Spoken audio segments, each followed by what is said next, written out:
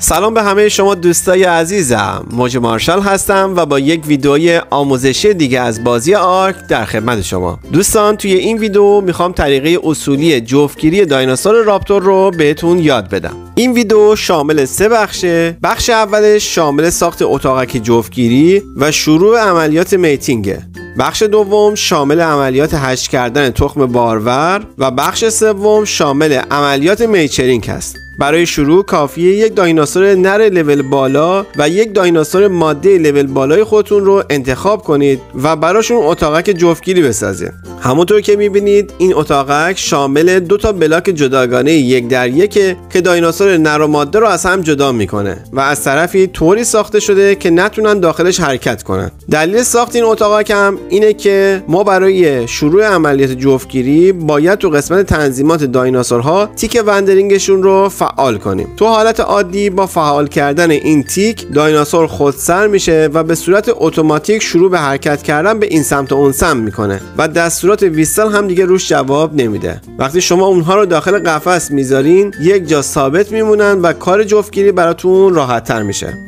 چند ثانیه بعد از روشن کردن تیک wandering بالای سر دایناسورها علامت قلب میاد و همونطور که می‌بینید نوار mating progress شروع به پر شدن می‌کنه. بعد از پر شدن این نوار ابزار دایناسور ماده تخم براتون می‌ذاره و این تخم باروره و می‌تونیم ازش بچه به دنیا بیاریم. بعد از اینکه دایناسور ماده تخم گذاشت تیک wandering جفت دایناسورها رو غیر فعال می‌کنیم و بخش اول کار ما اینجا تموم میشه. نکته مهم این بخش اینه که تخمهایی که حالت عادی روی زمین پیدا می‌کنید بارور نیستن و ازشون بچه بیرون نمیاد. اون تخمها فقط به درد خوردن و ساخت kibble می‌خوره.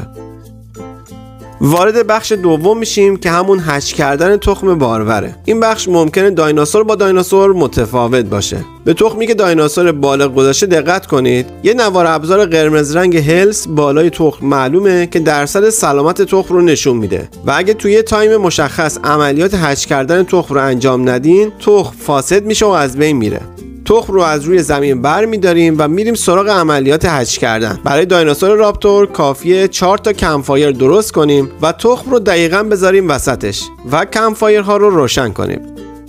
همونطور که می‌بینید نوار ابزار egg incubating فعال شده و بعد از گذشت چند دقیقه raptor کوچولوی ما به دنیا میاد.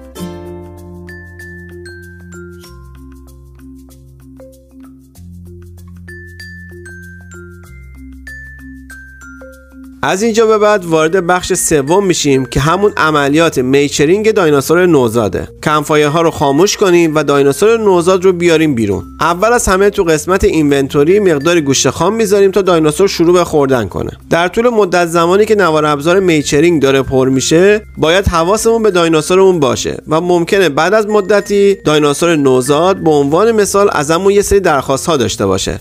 مثل اینکه باهاش قدم بزنین که شما باید اون کار رو انجام بدین. از اونجایی که این بخش تو دایناسورهای مختلف یکم متفاوته تو یک ویدیو جداگانه کامل کامل براتون توضیح میدم دوستان. نکته مهم این بخش اینه که دایناسور ماده بعد از عملیات جفتگیری برای مدت زمان مشخصی نمی‌تونه جفتگیری کنه. که این مدت زمان بسته به نوع کنسولی که بازی می‌کنید. و یا تنظیمات سروری که داخلش هستین متفاوته. خب دوستان ویدیوی ما اینجا تموم میشه. امیدوارم به درتون خورده باشه. اگه نظری پیشنهادی دارین حتما تو قسمت کامنت ها برام بنویسین. این ویدیو رو لایک کنید و برای دوستاتون ارسال کنید. دوستتون دارم. تا ویدیوی بعدی خدا نگهدار.